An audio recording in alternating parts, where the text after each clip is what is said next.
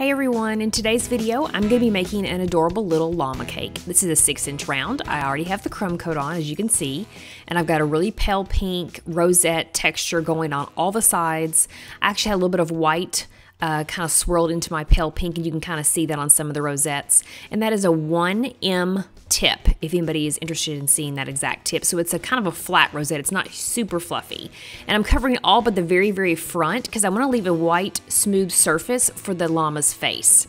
And this llama is actually going to have fondant sunglasses on and fondant ears, but everything else is in buttercream. So then I'm taking some black buttercream, and that's a four tip, I think. You could also use a three, you could even use a five if you were doing a larger than a six inch round cake. And then I used probably a five to six tip on that heart shaped nose.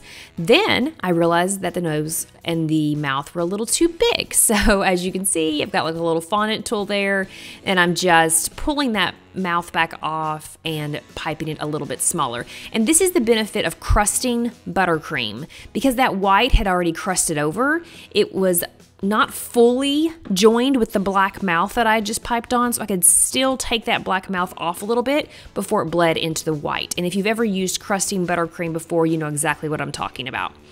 And then these are the little fondant sunglasses. I actually made those the day before, and that little nose piece does not want to stay. So I had to go back and add a little bit more water. You can also buy an edible glue. It just comes in a little small container with a brush on the end. It's perfect.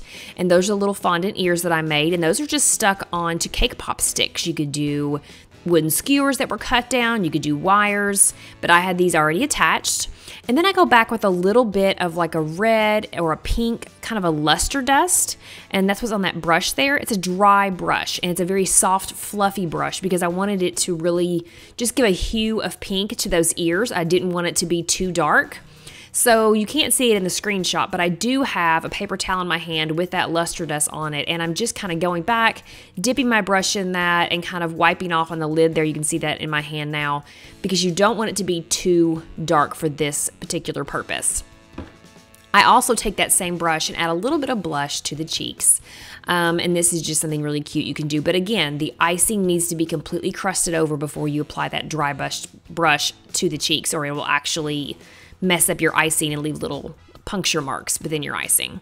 So that's pretty much it. It's a super cute and simple cake.